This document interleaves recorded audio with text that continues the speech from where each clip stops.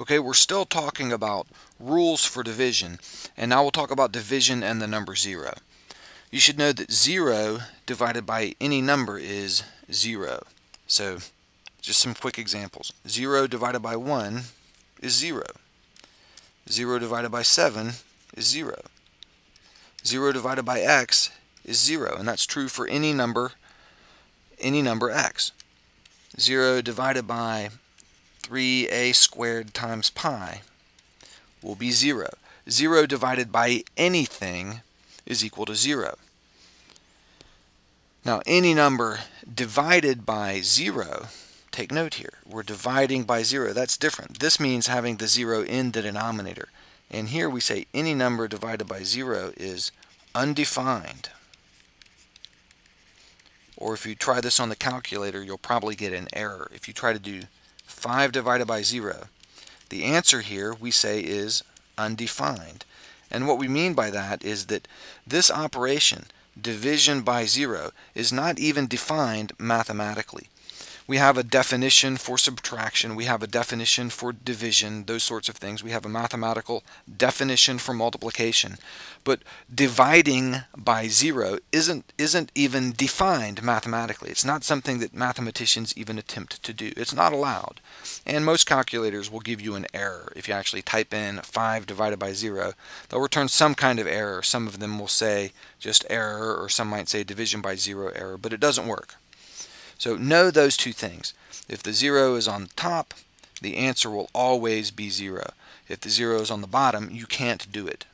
You say that the, the answer, there, there is no answer. You could write no solution, or you could just say it's undefined, meaning that this operation, dividing by 0, is undefined. Okay, it's also interesting to note that division is not commutative and it's not associative. And these facts are easy to demonstrate. Watch this. 6 divided by 3, what is that? Well, it's 2. And what's 3 divided by 6? Well, 3 divided by 6 is 1 half. So we see the order matters. 6 divided by 3 isn't the same thing as 3 divided by 6. And the same thing uh, shows up. We get different answers when we do association. Watch this. 16 divided by 4 divided by 2.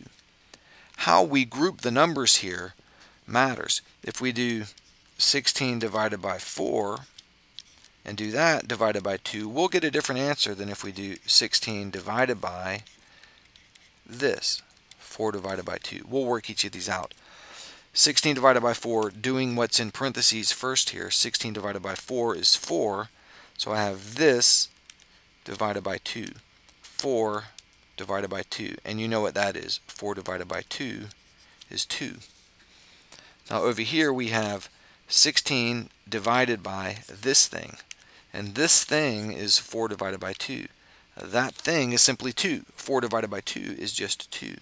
So we have 16 divided by 2. So let's write it like that. 16 divided by 2. And 16 divided by 2 is 8 and we take note that these answers aren't the same. Grouping them one way gives us a different answer than if we group them the other way. So division is not associative. Division is not commutative or associative. Or in other words, when you are dividing, the order matters.